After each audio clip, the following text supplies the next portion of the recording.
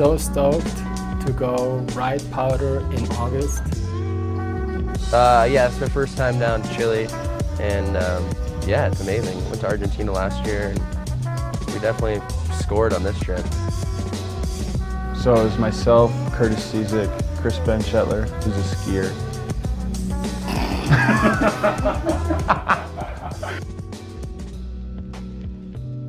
Powder slashing. It was the best snow for powder slashing. Um, the snow would just kind of stay in the sky for like 15, 20 seconds. The terrain here at Valle Nevado is pretty surfy, just because of the, how the wind comes across the mountain. There's like a pretty good amount of waves that are, you know, some cool little jumps and waves. And Yeah, coming down from uh, from the states down to South America, it's pretty crazy. You go from full-blown summer straight into winter, and it's within like I don't know 16 hours of travel. You can be on your board shorts on the beach to and outerwear snowboarding in the mountains. Chile was always a country I wanted to travel to, and uh, now just seeing it is, is a real big chance. And I think after after the snowboard experience here, I'll just go to the city and maybe to the coast and check it out there.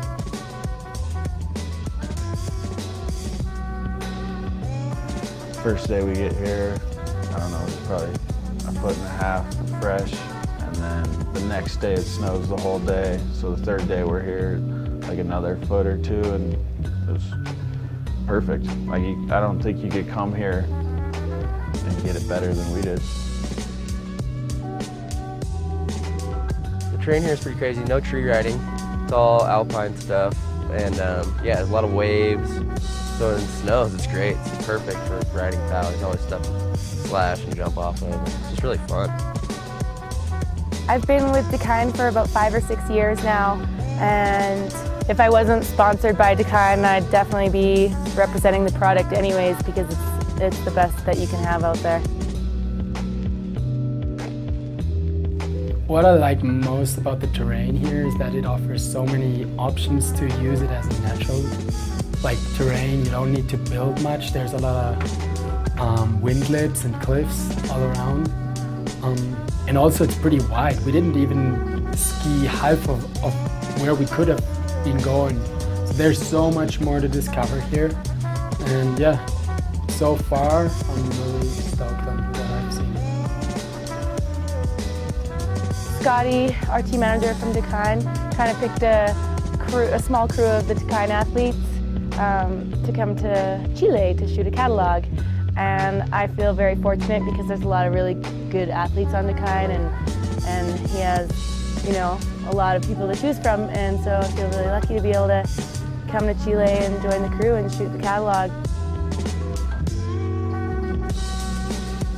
I don't know, I guess I'm, I'm getting to the age where like I really, really appreciate trips like this because it's like I'll, I'll remember these trips forever and being able to come down here with a couple of my good friends already, you know, like, and more or less experiencing the culture and, and meeting new people and stuff, that's great. Um, basically going over here to find powder in summer and this is the only place or one of the best places to find powder in summer. And what we want to do is uh, produce shots with the Dakine team, hang out and shred together and it's the end of the trip. We achieved all our goals and Mike and Dave um, from Powder Quest definitely have this area dialed. They seem like the perfect soul shredders out there, living their dream and guiding people around to the best places. Powder Quest has been guiding trips in Chile and Argentina since 1999, and basically we focus on instructional, off-piste, and backcountry adventures. Uh, just road trips through Chile and Argentina, great culture, and of course the best powder in, in the world in August. Uh, my favorite Dakine product would definitely have to be the, uh, the mittens. I love the warm Gore-Tex mittens. For me, Dakine is the combination of style and quality.